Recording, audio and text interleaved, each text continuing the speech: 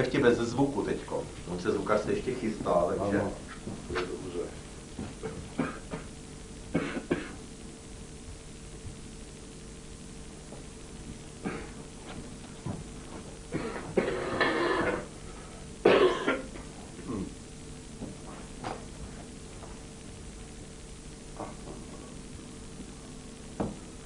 My pak budeme komunikativní. Kamerka? A poklona, pěkně vás vítám na Hrádečku, což cítím jako takový svůj existenciální domov. Máme to už skoro 40 let a byla to taková zříceninka, postupně jsme to zařizovali a mnoho věcí jsem tu prožil. No, Pojďme dál, je pod, zima. pod Krkonožská chaloupka, původně kdysi.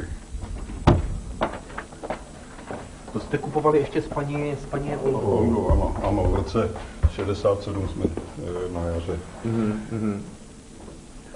Buďte tak hodný, trošku nás tady proveďte a povězte, co to znamená pro vás tohle místo. Ano, ano. Tady se ocitáme v chodbě. Tady vstupujeme do hlavní místnosti.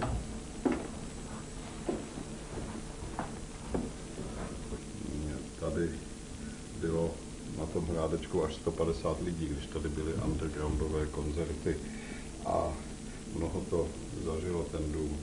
Vznikaly tady karta, několik věd, spisovatelské sjezdy tu bývaly, mm-hmm. koncerty ve Storole, hm, těch undergroundových kapel. No, všechno jsme to budovali někdy počátkem 70. let, to byla to opravdu zříceninka. Tady se vstupuje do kuchyně. Můžu se zeptat, když jste pořádali ty koncerty nebo ty akce ještě teda v 80. letech, 70.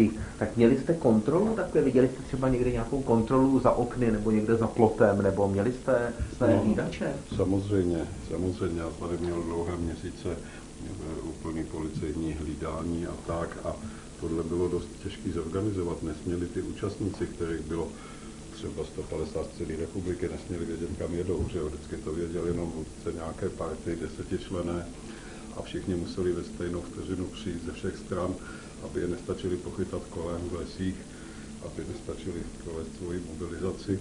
Pak už byla celkem dost velká naděje, že to nepřeruší v půlce, to dělávali taky, ale u mě přece jen jsem byl v takovém postavení, že se báli, že by to mělo velkou publicitu v zahraničí a podobně, takže když už to jednou začalo, tak už bylo víceméně vyhráno.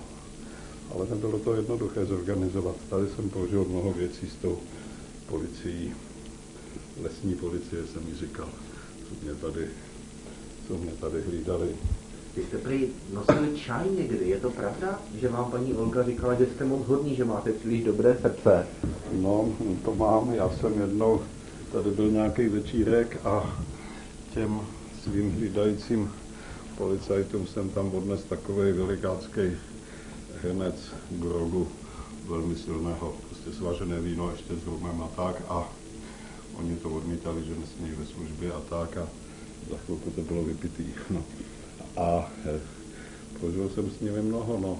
Jednou například se stalo, že tady se mnou natáčel rozhovor BBC a nějak prošli tak, že se sem dostali, aniž jim v tom zabránila ta policie a potom jsme dělali ten žert, že jsme byli domluveni na tom a já jsem vyšel ven jakoby na procházku se psem a chodil jsem kolem domu a pár kroků za mnou chodil uniformovaný policajt a oni chodili od okna k oknu a filmovali to celé, protože jsme byli takto domluveni. No. A to jsou takové veselější příhody. Někdy to nebylo, nebylo vůbec příjemné, když nás honili po tom lese nebo tak. Můžu se zeptat, takový třeba závěr překvapivý dotaz. Bylo vám tady někdy smutno? Mhm.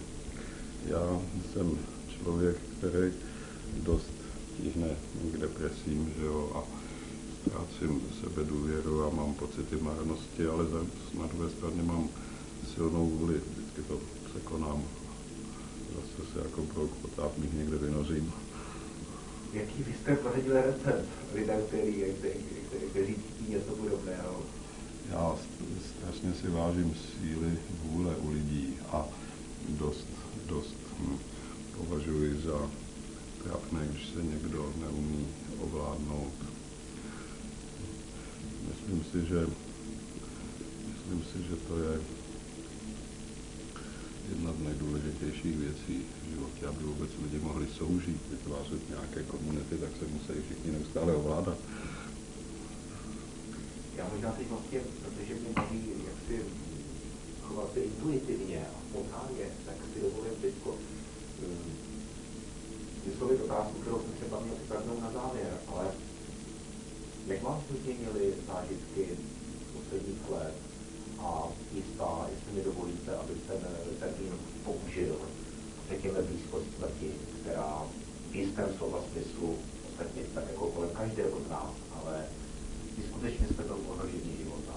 Lze si, že jste potom změnil svůj pohled na některé věci, ale já myslím, že asi... Vždycky ještě poprosím, jakoby, jestli smím, tak celou větou, protože já tady jakoby potenciálně nejsem. Aha, abych mohl to používat, děkuji moc. Ano, ano. Já, já myslím, že asi to na mě určitý vliv, určitý vliv mělo.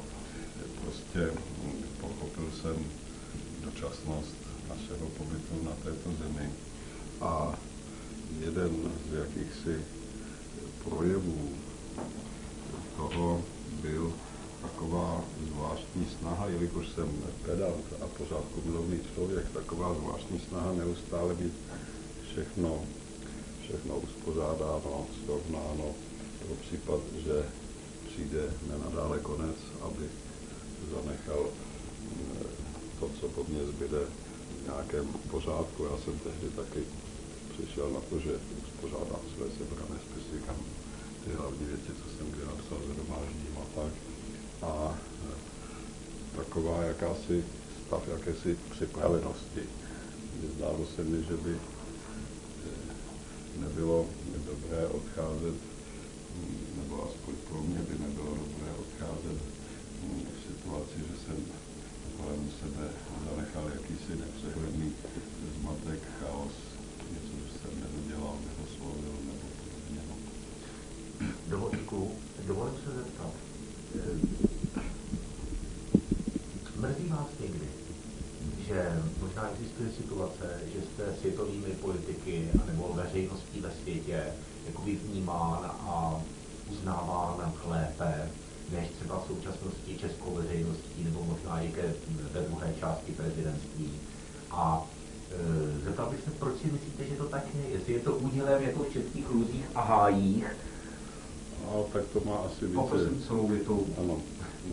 No, myslím si, že, myslím si, že to, že bývám ceněn víc dálce než blízko, to má asi více příčin. Jedna z nich bude, že tady mě mají asi víc na očích, takže se snadněji zprotivím, že než někde na Filipínách či v Austrálii ale významnější asi je to, že můj životní příběh určitým způsobem zjednodušen převyprávěn, hm, má takový charakter jakési pohádky, takové jednoduché, srozumitelné story s happy endem.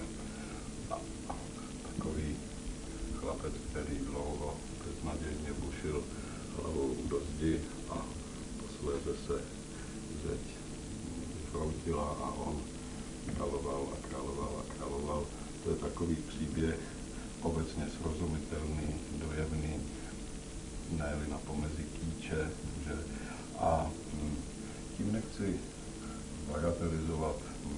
Já vím, že čtou mi projevy lidi a státníci a politologové píšou o tom a berou mě vážně a berou mě i kriticky a tak dále. Nechci to celé zjednodušovat, ale v takovém tom obecně hm, příznivém přijetí nebo popularitě v dalekých zemích bych viděl trošku stopu tohoto srozumitelného, jednoduchého a hezkého pohádkového příběhu. Vy jste nám nachystal chlebíčky? Ano, ano, ano, ano. Račte si, račte si vzít páně. A, a kde je kuchyně? Jak to tady jinak ještě? Kuchyně tady. Tady to tak nebylo, že jo, tady byla tady byla nějaká ložnice, v prvním patře nebylo nic, tam bylo, tam bylo jenom nějaký seno a Takže vy jste chalupář. No jo, no.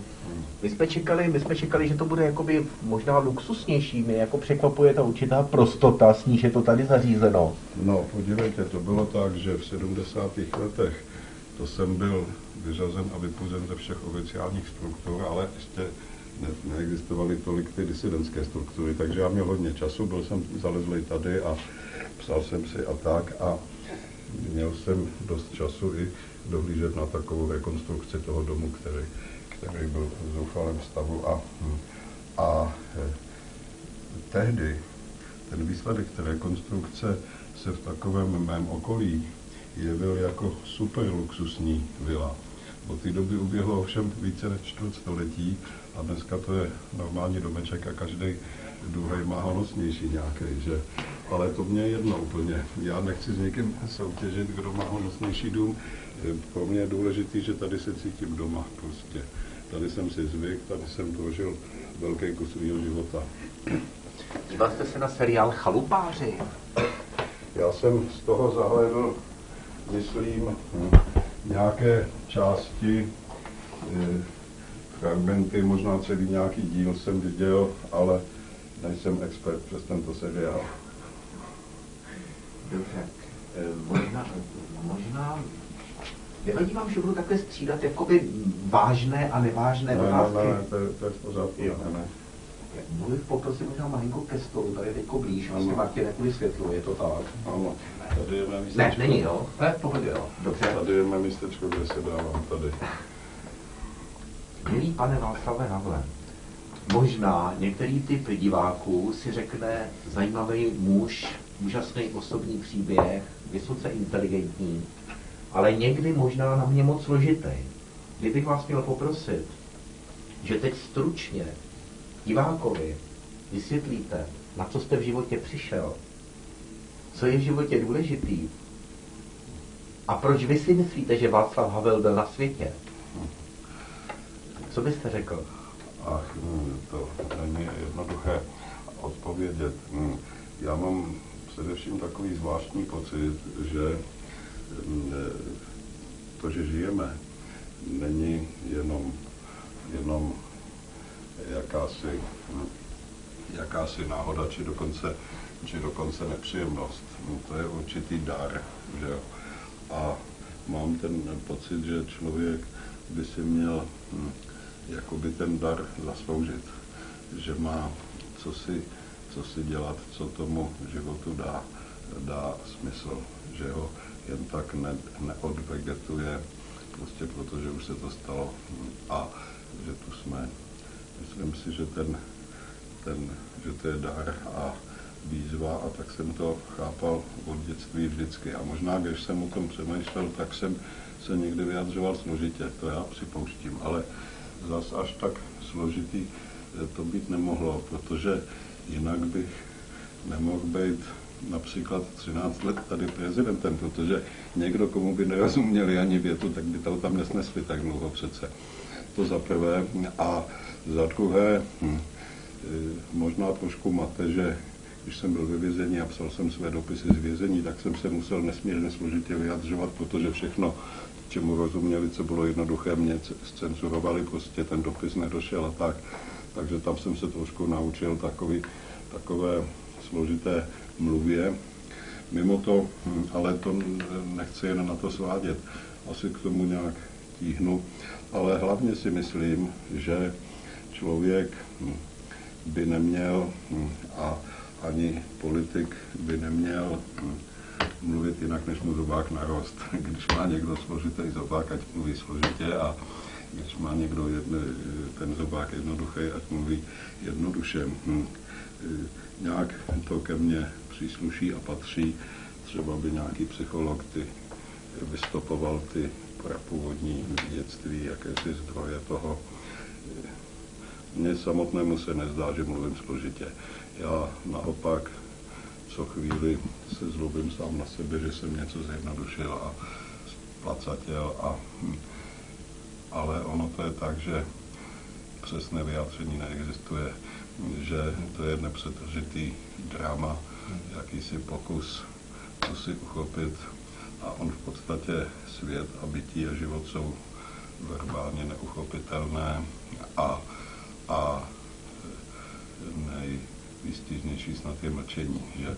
Nicméně tím, že se rozhodneme nemlčet, tak se dáme na cestu jakéhosi nekončícího dramatu, zápasu, zápasu o vyjádření, o uchopení světa, v němž, v němž je nám dáno žít. Můžu vás poprosit, abyste se podíval do kamery a díval se do kamery. A jenom se tam dívejte. Cože? Je, jenom se prosím dívejte do kamery. Ano, ano. No jo, to já nejsem moc zvyklý rozprávět s kamerou. Při těch prezidentských projevech já se jakýmsi způsobem stydím, hm, nebo nevím, co to je za návyk, hm, nejsem naučený jako americký prezidenti nebo senátoři, že se pořád dívají do publika. Oni teda tady mají skleněný desky, kde jim běží ten text a oni to odečítají, vypadá to, jak že mluví z jsou strašně chytrý, No, že to... ale, hm, ale i když mluví opravdu z patra, tak se dívají do lidí. A já to nějak, nějak moc neumím. Je to jaksi, jakási stydlivost, či co, že se takhle koukám. Jo. A tady si něco chutím a tak. A ono to vypadá jako, že se koukám do nějakých poznámek a že tu tajně čtu to, co říkám, že jo. Ale, ale nevím, no, je to nedo, nedobrý návyk, který hmm. je, zvláště v politice není, není moc, není moc dobrý. No, však se taky v Americe učí od dětství mm-hmm. politici té rétorice a mluvit a správný, ve správné proporci mít zažertování a vážné věci. A tak. Uděláme chviličku pauzičku, děkuju. Uh, Martine, aby si si... Pojď, Pardon, sekundičku, sekundičku. Kamera. Ne, to, to nechci říct. To, to, to, teď to nechci říct do filmu, jenom vám jsem to chtěl Ano, říct. dobře. Mhm. Že si myslím, že by bylo dobré, kdyby se tam nehledá má žena, aby to nevypadalo, že s, Já s ní, ne, že s ní nemluvím. E, Zítra třeba, až budeme v té kanceláři nebo někde, takže by jsme to domluvili, To by že bylo se tam nějak, nějakým způsobem myhla. Skvělý, určitě, určitě. Skvělý. Um, No, no, to je nezvyklý, že tady teď jsem na měsíc sám. No, to jsme tak dlouho nebyli. od sebe. a čím to je, čím to je daný? No já jsem chtěl se odizolovat a abych něco napsal a měl na kostek. A ona má povinnosti různý. Praze. Jak se cítíte teďko? Myslíte zdravotně? Tak obecně. Aha. Já ne, mám, nemám mm, nejlepší pocit. Jsem trošku nervózní. Jsem nervózní hm, eh, ze svého eh, ex-prezidentství. To je pozice, která není moc vyzkoušená u nás, nemá žádnou tradici. hm, eh, tak ta společnost přesně neví, jak s bývalým prezidentem naložit a já taky teprve hledám ty možnosti, musím mít kancelář, musím mít, mm, mám ohromnou agendu a musíme to umět odmítat, ta všechna pozvání a tak dále a e, jsem ale zároveň rozptýlen a, a tím pádem, protože tak velký úřad zasmít nemohu a e, e, cítím, že bych měl něco napsat, hm, a tak to ve mně zraje, už to mám docela promyšleno, ale nenalezl jsem soustředění a čas na to psaní a tak hm, jsem v takovém rozechvělém trošku stavu, abych tak řekl. Řekněte nám, kdo je tady na fotce. Pod hodinama, jestli můžu poprosit. Tak to jsme s Dášou tady. Ano. A tamhle s Olgou před... Přijděte, prosím. Ano, ano, ano. To je. To je fotka s Olgou z roku 70, 75. To je doba, kdy jsem, kdy jsem chodil tady do Pražského pivovaru. Jsem byl asi tři čtvrtě roku zaměstnán v pivovaru. Jsem koulal sudy. My se tam bude podívat dneska. Jo, no. Co jste tam dělal? Ono to tam, hm, já jsem byl ve sklepě, kde jsem eh, tedy já nevím, co by, koulel, koulel sudy a hlídal to a taky jsem tam čistil potom hm, takové čističky toho piva.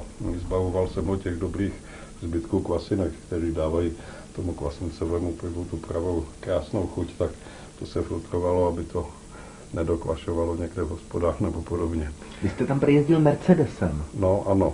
A já jsem, hlavně ten pivovar dneska už asi je úplná nějaká moderní, jak kosmické centrum v Houstonu, si myslím, tehdy to bylo všechno daleko, daleko prostší. Hm. Možná tam najdete pana Špalka. To byl můj šéf, hm. Takový pivovarník celoživotní, byl to šéf, šéf těch sklepů, v nich jsem pracoval.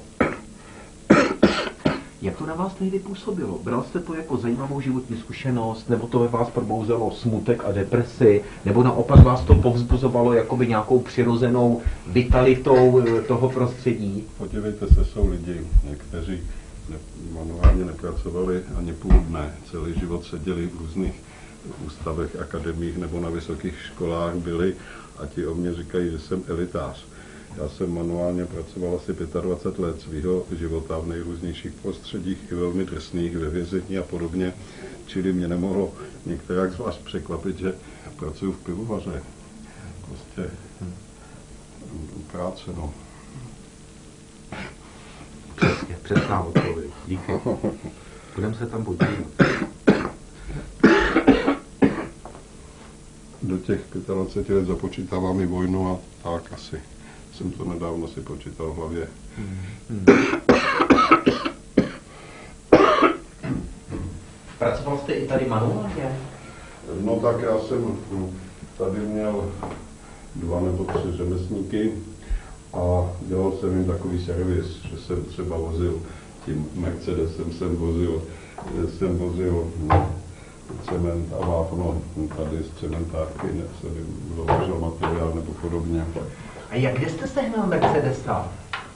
Ale no tak Mercedes byl v Tuzexu na prodej a mé hry se hrály hodně v zahraničí, že jo, a já jsem vlastně leta letoucí neměl jiný příjem než v Tuzexových bonech z těch e, zahraničních produkcí západ, na západě teda mých her a takže jsem na tom nebyl tak jako úplně špatně ve srovnání s jinými kolegy nebo přáteli. Mě na tom baví ta absurdita, že jako pivovarský dělník jste jezdil Mercedesem, tuším v polovině 70. let, v tuhnoucí husákovské normalizaci.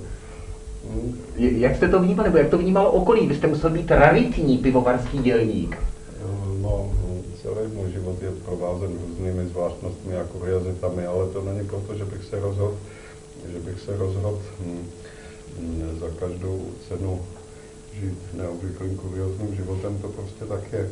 Tam hm, v tom pivovaru ten můj Mercedes, tehdy moderní, ten tam vyvolával spíš technický zájem těch dělníků. Každou chvíli nějaký chtěl otevřít motor a tam si prohlížel různé trubičky a podobně. No. No udělám střih, ať.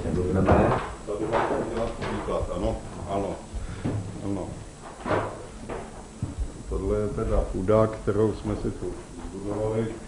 Tady je pokojíček mé ženy. Tady je, tady je pokoj pro hosty, vyzdobený psychodelickými plagátky. Které jsem si, psychodelický plagátky. No, které jsem si v roce 68 přivez z Ameriky.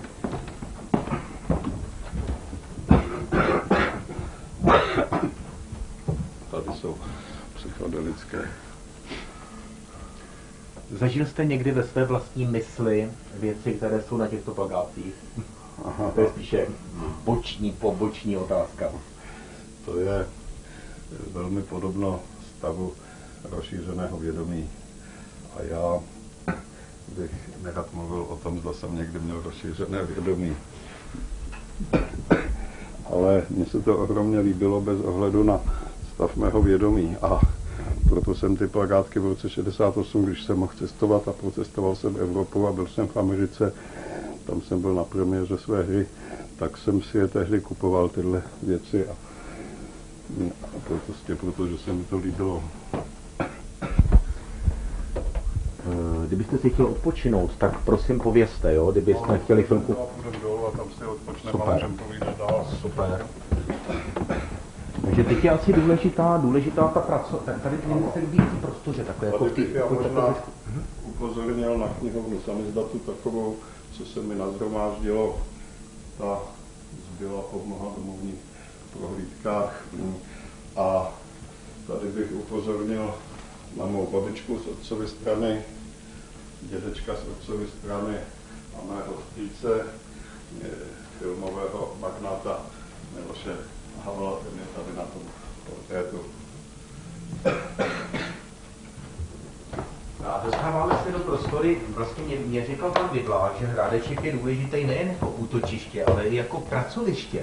Ano, ano, Jestli můžete prosím na tohle téma. ano.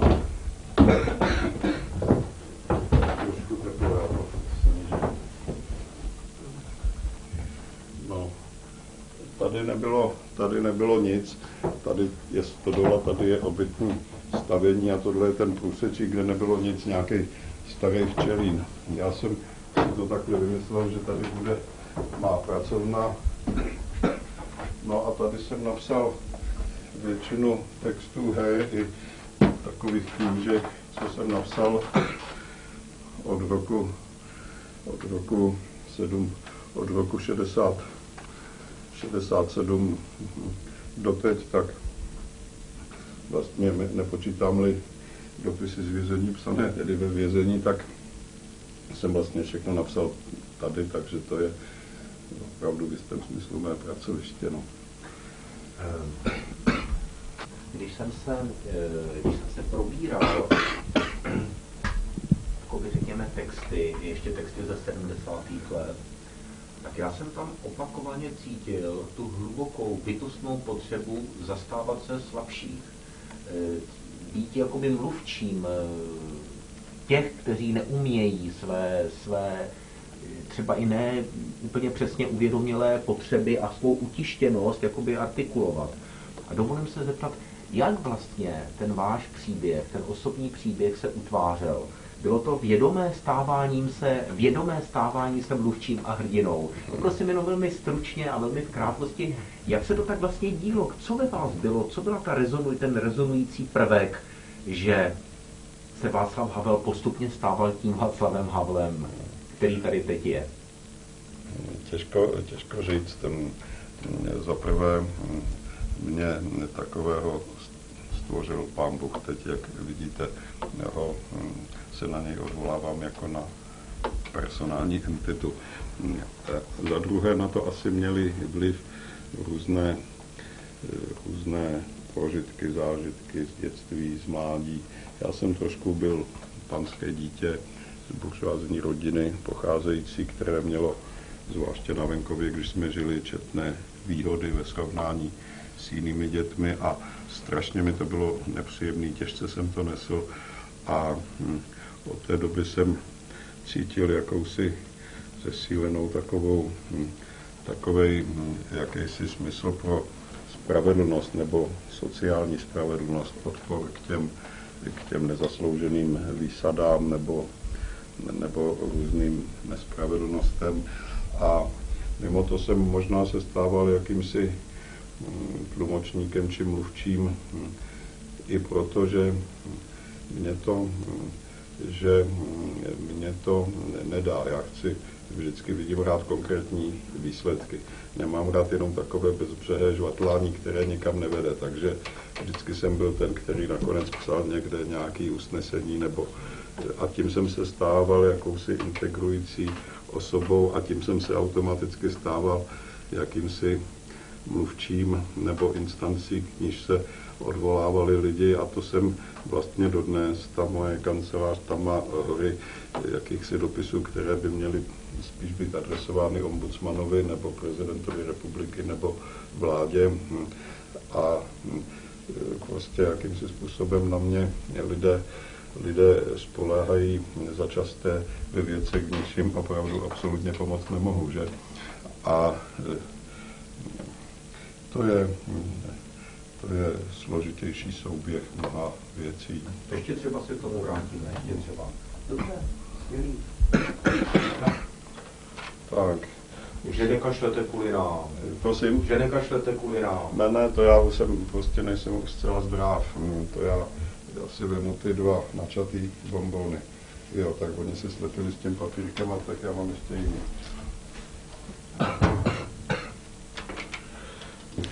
Tohle to je hra, kterou jsem rozepsal před 17 lety asi, jo. Před, před tím listopadem, no tak před 16 lety asi. A k níž se teďka vracím, jo. A hra, kterou bych rád napsal, do jisté míry bude mít s tímhle, bude se o to do jisté míry opírat, nebo na tom bude založena.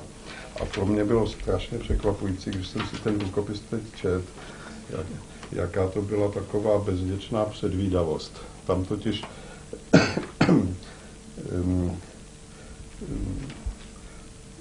to samobytí toho textu si vynucuje určité věci, které třeba ani jsem jako autor nezamýšlel a je, má to dílo být vlastně chytřejší než ten autor jistým způsobem, že jo? A on se sám pak má divit. A já jsem byl velmi potěšen tím, jak jsem se divil, když jsem se do toho díval. To je totiž o takovém politikovi, který ztratil funkci, ztratil moc, nějakým způsobem ho sesadili asi nebo něco po dlouhém době vládnutí a on to prostě neunese a zhroutí se mu celý svět spolu s tou mocí. Jo? A je to trošku založený na půdovisu krále Víra. Jo? A já jsem najednou byl překvapen, jak jsem mohl tehdy, kdy jsem žádného politika v podstatě neznal a neviděl, že jo? jak já jsem mohl mnohé věci předvídat, který mezi tím jsem mohl tak důkladně spozorovat, pozorovat e, v reálu, protože jsem viděl tolik politiků, kteří přišli o moc, že jo, a neunesli to a tak. A jsou tam věci,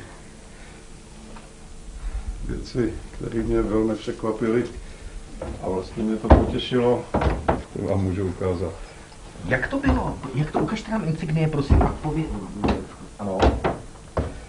Já jsem měl v době prezidentství ten zvyk, že když jsem navštěvoval různý mm, vzdálený země či kontinenty, tak jsem vždycky chtěl nejprve oslovit nějak tu původní, původní kulturu nebo původní civilizaci tamnější.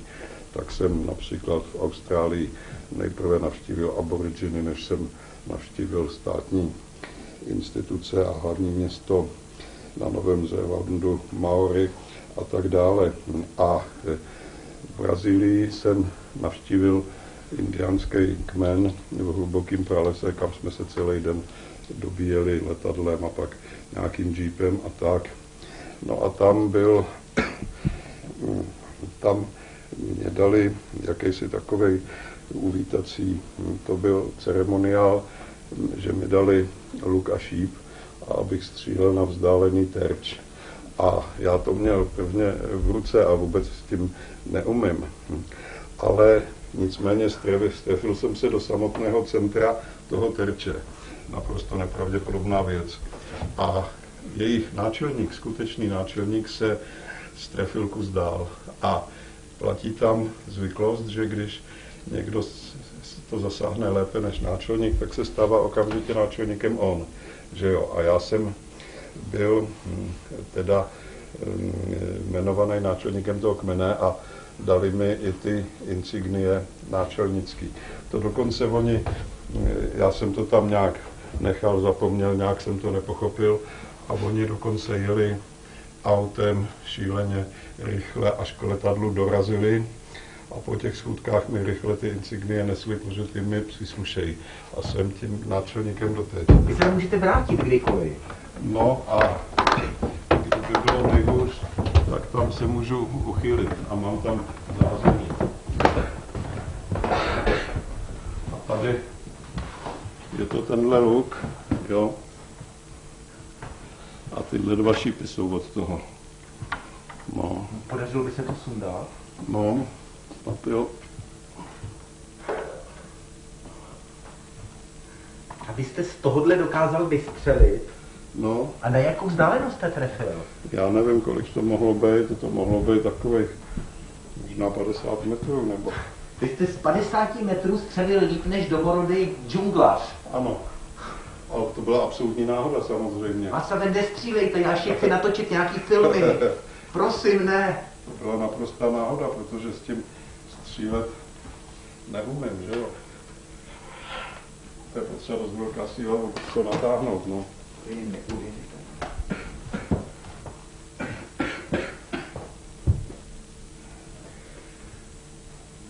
Já se dovolím zeptat, jakou úlohu ve vašem životě měly ženy? A co vám v životě ženy dávaly? Něhu, energii, lásku, jistotu? Ano, to všechno. Já jsem si nějakým způsobem potrpěl na dominantní ženy. To asi byla jakási vzpomínka na mou dominantní maminku, tak jsem byl asi sformovaný v dětství, takže mám, měl jsem Olgu a mám Dášu jako ženy opravdu jakýmsi způsobem dominantní.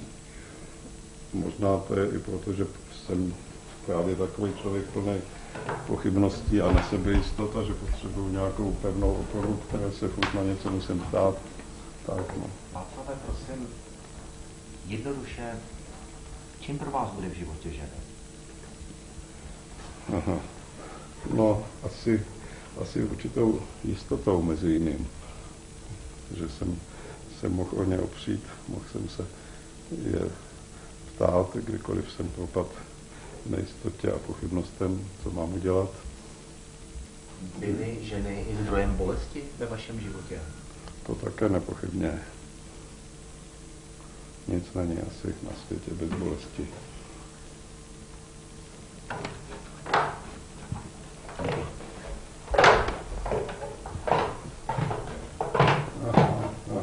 Je tady pan.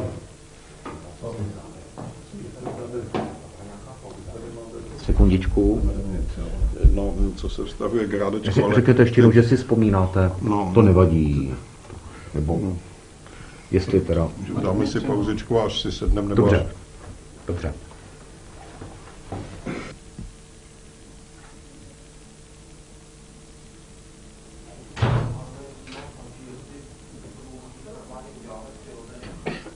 Pochopil jsem dobře, že vy jste, je- je- jako, znáte, znáte ten příběh s tím, s tím, s tím lukem v té Brazílii, mě to pořád dokola fascinuje, já už se přiznám, že já už jsem si to s radostí vyslechl po třetí. Jednou Já jste, jsem to už říkal někde, jo. Jedné mě jste to říkal jo. tehdy, když jsme se potkali náhodou po Jardově Duškovi na Novotného Jo, lávce. Paní aha. Dáša tam byla a seděli jsme tam u stolu a vy jste to tam úžasně vyprávěli, já si to od té doby pamatuju. Aha. Pak jsme to znova zmínili na té, na té naší schůzce e, ve Voršovské na polévce. Pan prezident je náčelníkem brazilského kmene. Tak to já se omlouvám, jestli jsem to Ne, tolikrát naopak, říkal. No. naopak. no tak to je ale... Je před veřejností. To je Před veřejností ne. Takže vy... To je, to je neskutečný. Život se k tomu hlásit, ne? No.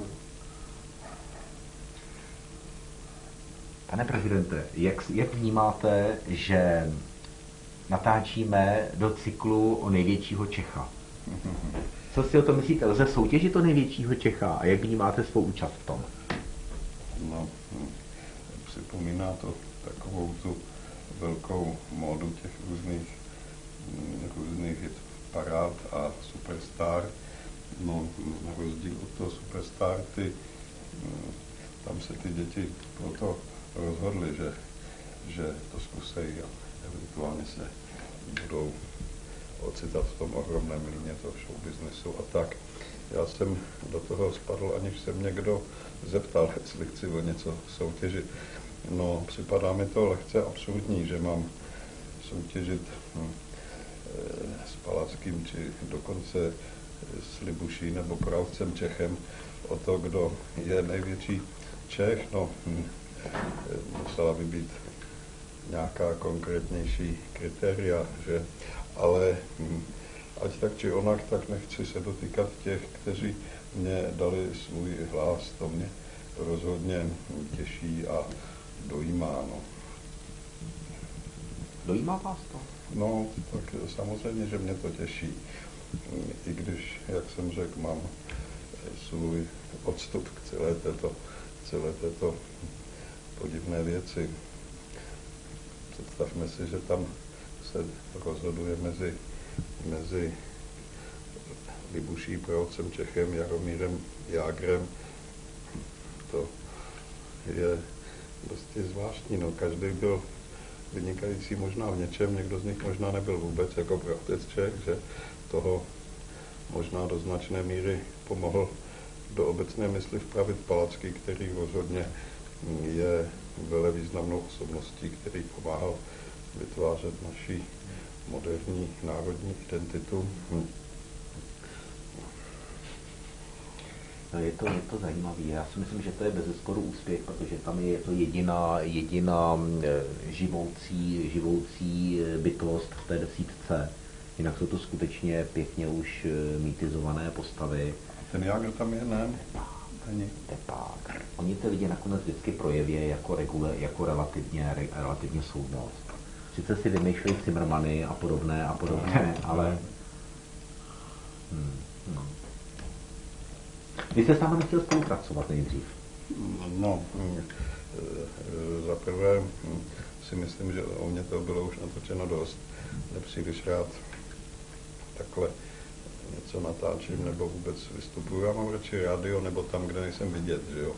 A, mm, ale, no a nedá se říct nechtěl, věděl jsem, že musím, ale chtěl jsem to co nejvíc časově omezit, no taky nemám dost času. Já jsem ještě něco bych měl říct tady k tomu zařízení toho rádečku.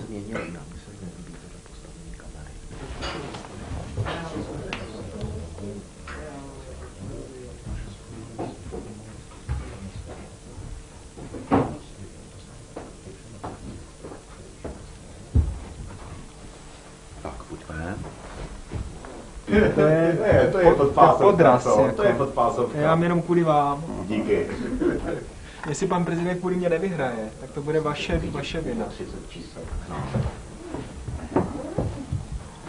No a není jenom prostě, pane režisére, pane, pane režisére, poz, technická poznámka. Mluvit o osobnosti, přítomnosti té osobnosti, není to... Zkusme to, zkusme to. Zkusme to.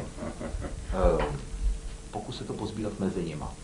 Pane Hladíku, co jste mi prosím vás říkal, když jsme se měli v autě, jak jsem říkal, že mi to ještě musíte zopakovat? Eh, Já mm, mohu pouze komentovat eh, mou práci pro Václava Havla eh, v kanceláři. My všichni, kteří pro něj pracujeme, tak se setkáváme s projevy úcty, s projevy díků, uznání a s projevy pozornosti, které se Václav Havel těší, a to eh, nejenom u nás doma, ale i v zahraničí.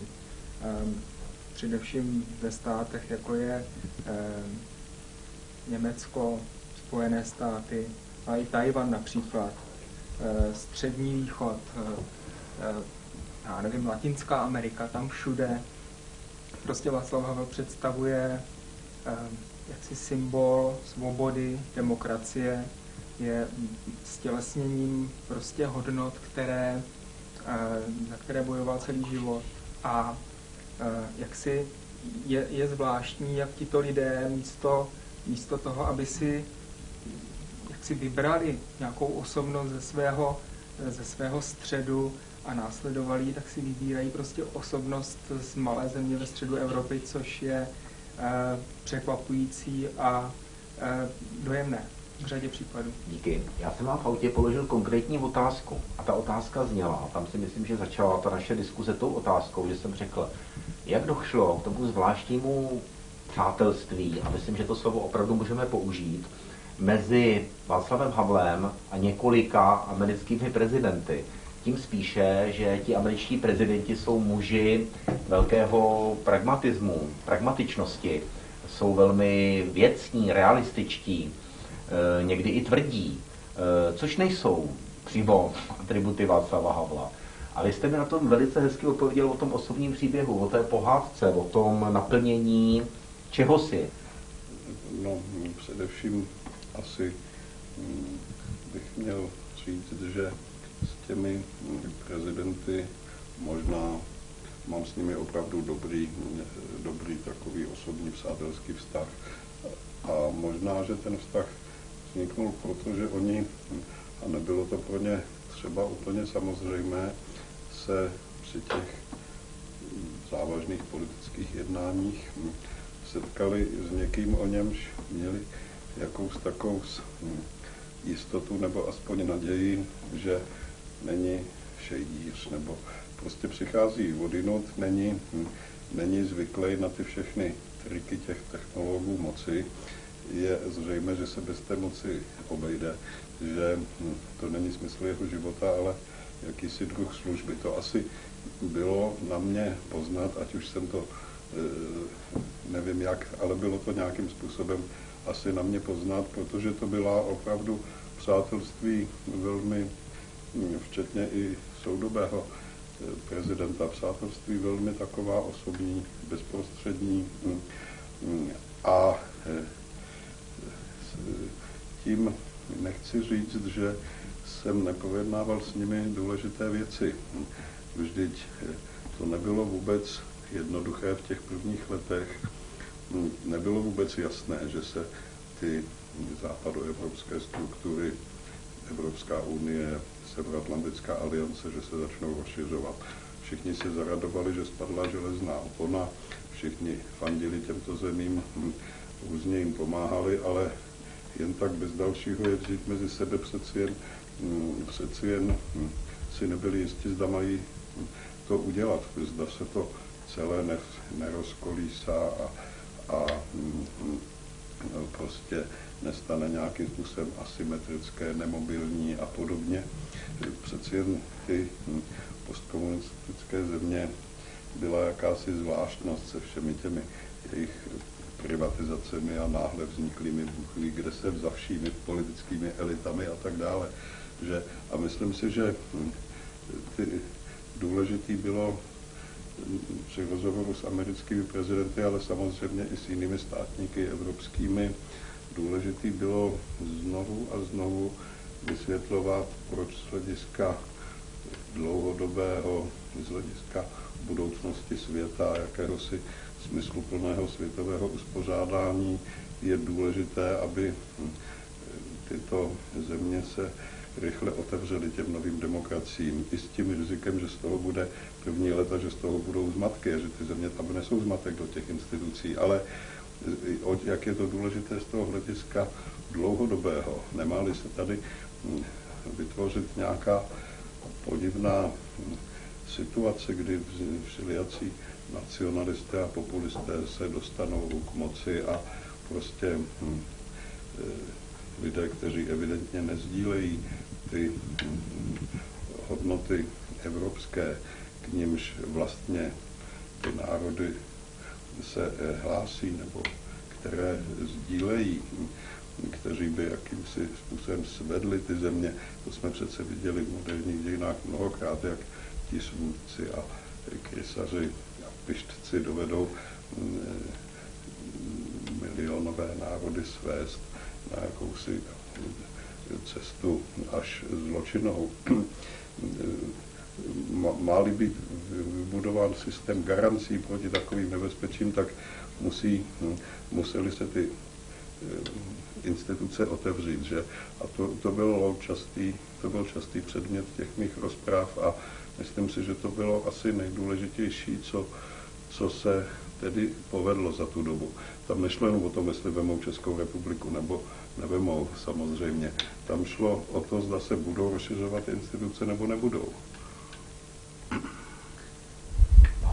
Pauzičku, to jsem odbočil k nějaké politologické no, úvaze, ale to už je jedno.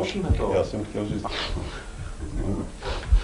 No, no. Jak si děláte radost? Tady, když si chcete udělat radost. No, já jsem Já si vzpomínám, že jsem v letech 70. hm, hodně tady poslouchal, poslouchal hudbu. Mám taky hodně těch desek, LPček tady, tady celá tahle skříň, tamhle ta skříň. Já si vzpomínám, jak jsem třeba z toho pivovaru se vrátil odpoledne unavený z práce, udělal jsem si čaj, pustil jsem si hudbu, tak jsem tady seděl. Hm. No, snad bych měl ještě říct, že mimo takových věcí, co jako bývají na chalupě toho takového selského, což asi být musí, jsem, je tu takových dost kytek a toho rákosí a mucha a bersly a tak, což připomíná secesi. Já, možná to je proto, že já jsem vždycky secesi miloval a že jsem i vyrůstal v takovém trošku secesním, secesním prostředí. Dovolím se takhle zeptat.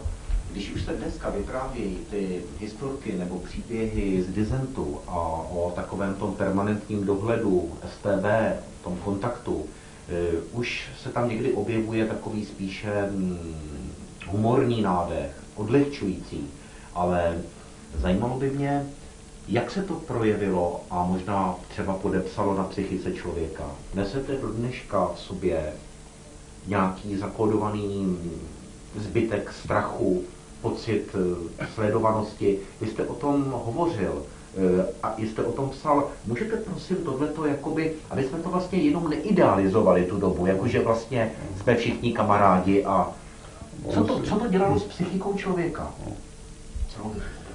Člověk eh, samozřejmě má sklon pamatovat si spíš to hezké, než to špatné. Takže se mnoho, mnoho hm, eh, zážitků nebo událostí časem během let se mu ve vzpomínce zidealizuje. To je jasné, ale na druhé straně musím říct, že hm, ten pobyt v tom getu disidentském, kdy jsme byli všichni obklíčeni těmi nepřáteli, od nich jsme mohli čekat naprosto cokoliv, že, že ten pobyt hm, opravdu vedl hm, k takové zvláštní povznášející soudržnosti, pospolitosti a posléze i k veselí. Tam jsme zažili bezpočet eh, veselých večírků, jaký dneska už hm, nezažívám tedy. A, a eh, já si vzpomínám na takový absurdní příhody, jak jsem třeba dělal v Praze Mikuláše. Objížděl jsem spolu s Čertem a s Andělem jsem objížděl různé disidentské domácnosti. Za mnou jeli dvě 603 těch fízlů, co jezdili s náma a já v tom mikulášském oblečení a s těma fousama jsem, jsem navštěvoval ty domácnosti. To, to jsou takové tisíce příhod, které ilustrují tu, tu jakousi dvojznačnost toho, že na jedné straně ta atmosféra té pospolitosti a to vědomí toho společného nepřítele mm, vedla k takovému docela veselému životu v tom getu, ale na druhé straně člověk musel být permanentně samozřejmě bez střehu, protože bylo možno očekávat cokoliv. Já jsem zažil velmi i dramatické různé příhody, kdy jsem, kdy jsem za jejich přítomnosti musel různě skrývat důležitý papíry a všelijakým jim unikat a takový poloteroristický věci nám tady dělali na téhle chalupě třeba a podobně. Nebylo by správné to jenom idealizovat. Ale co je snad možná důležité říct, je, že ty disidenti ve své veliké části neměli žádné politické ambice. Tu a tam čteme, že zkrachovali, že nevládnou a proč by měli vládnout. Oni to dělali z důvodu občanských, mravních, z důvodu jakési osobní hygieny, prostě se zbouřili proti tomu stále být ponížen a, a servilní a říkat něco jiného, než si myslím. Takže, takže to byl ten hlavní důvod toho, toho působení v chartě nebo podobně a, a nebyly to politické ambice a nikde a vrátili se do svých původních zaměstnání, jsou z nich vysokoškolští profesoři nebo hm, dělníci, cokoliv, co je původní jejich povolání, že? Hm. Kdybyste se, Václave, prosím, měl podívat na svůj vlastní život jako na dramatickou hru, Jaký žánr byste přiřadil této hře? No, hm, má to, ano, ten můj život opravdu má hm, rysy hm, absurdní hry či grotesky, má ovšem rysy i jakési sentimentální pohádky, o tom jsme mluvili. Hm. Je to zřejmě promícháno mnoho žánrů dohromady, ale rád bych zdůraznil znovu to, že já jsem se pro dobrodružný život nerozhodl. Já mám rád klid, harmonii, setrvalost, jsem v podstatě konzervativní člověk, ale hm, jak si ten běh událostí, osud a má povaha mě vlastně hm, vrhly do celoživotní konfrontace s někým. Že, hm, a e, z toho posléze se vytvořil tento dobrodružný e, život. Ale nebylo to proto, že jsem se k němu rozhodl. A co teď řekli strašně důležitou věc. Teď si myslím, že jsme se dotkli opravdu toho merita toho, jak se, protože pořád mám na jazyku jakoby otázky. Ne, mě obtěžka váročním úkolem. Já jsem asi na to musím říct panáka. Nechcete taky panáka? Já bych si dal výjimečně. Děkuju. Já tady mám takovou, jak jsem zjistil, šíleně silnou 15 let starou whisky, kterou mi někdo dal. Nemám teda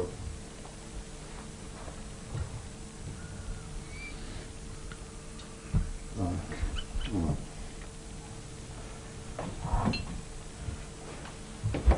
Děkuju. Tak. Tak na největšího Čecha. tak kam se mám, mám jako stát, jo, nebo... Tady, já, já, je to daleko lepší, když se stojí, je to takový, Jo, jako, jo. je to hovor přátel prostě mezi, mezi, mezi dveřma a najednou to má jiný No. charakter. Ano. Takže to prostě, ano. Když se já tak hm, promítám svůj život, tak zjišťuju, že vlastně není na začátku nějaké rozhodnutí, hm, budeš, budeš dobrodruhem, nebo budeš bojovat se světem, nebo budeš politikem. Nic takového. Hm. To, jsou, to je dlouhý řetěz událostí, kde, které jsou, a jsou to různá rozhodnutí, která jsou vždycky mm, po, ve své podstatě, aspoň jak já to zakoušel, byla to rozhodnutí, rozhodnutí mravní, kdy člověk stál před nějakou mikroalternativou a kladl si otázku, co je lepší. Udělám-li tohle, ale budu mít lepkavý pocit, že jsem se nějakým způsobem spronevěřil sám sobě nebo tomu, co by bylo lepší, správnější.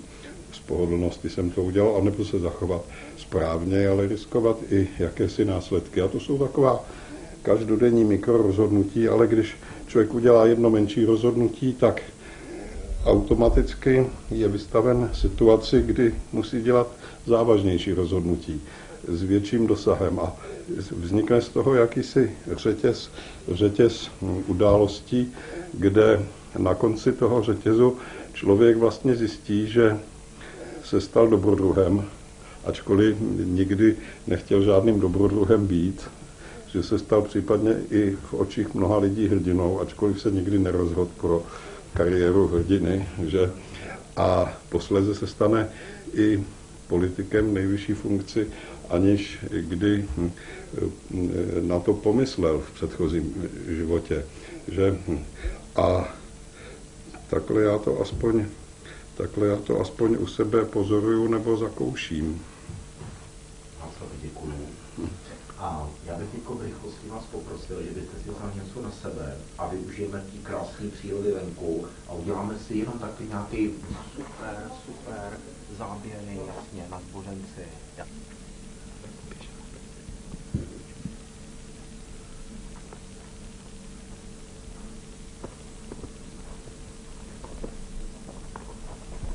Odhazujete větrcník? No, hm, samo sebou bývaly doby, kdy jsem ho odha- odhazoval já, a dokonce bývaly doby, kdy jsem celý toto navážel a roz, hlínu rozhraboval, když jsme to budovali. Teď už na to plíce nemám, takže mi to udělá můj pan pistolník nebo někdo. Ale nebývá tady zase takhle hodně sněhu, to je opravdu letos výjimečný, zvlášť touhle dobou.